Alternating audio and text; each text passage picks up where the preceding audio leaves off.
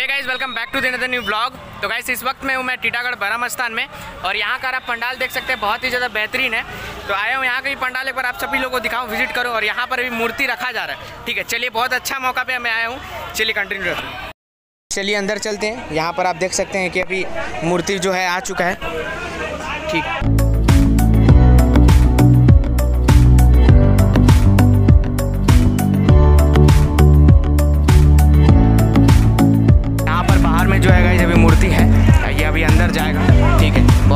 बेहतरीन मूर्ति है। देख सकते हैं।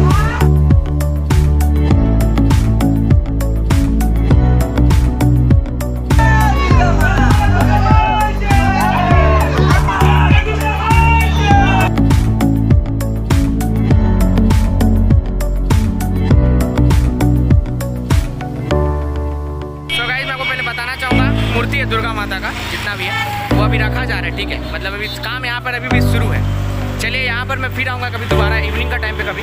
या मॉर्निंग का टाइम पे मैंने आपको दिखा दिया यहाँ पर अभी काम चल ही रहा है, ठीक है? चलिए कंटिन्यू देख सकते हैं ये बाहर का व्यू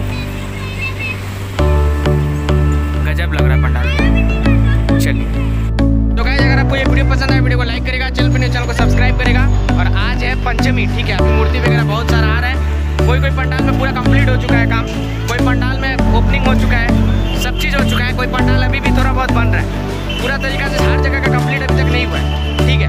बट यहाँ का पंडाल का काम मेरे को जहाँ तक लग रहा है, देख सकते हैं कि नीचे का भी बाकी है। टेन परसेंट ट्वेंटी परसेंट बाकी है। जो भी है अभी मूर्ति वगैरह यहाँ पर आ चुका है, यहाँ का ब्लॉग में फिर एक बार बनाऊँगा इवनिंग का टाइम अगर आपको ये वीडियो पसंद है, वीडियो को लाइक करें, चैनल पर चैनल को सब्सक्राइब करें चलेगा मिलते वीडियो के साथ अब तक लीजिए